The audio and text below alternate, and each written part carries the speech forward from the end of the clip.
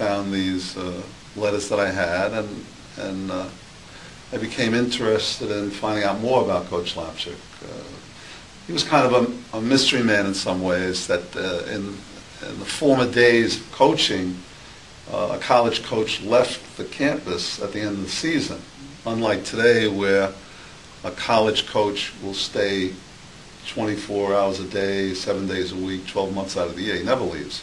So Lapchick kind of disappeared, and we never really knew that much about him. So after I had gone back to school for my doctorate, and I had written a dissertation of 500 pages, I kind of said to myself, as a competitive former athlete, that I could write a book.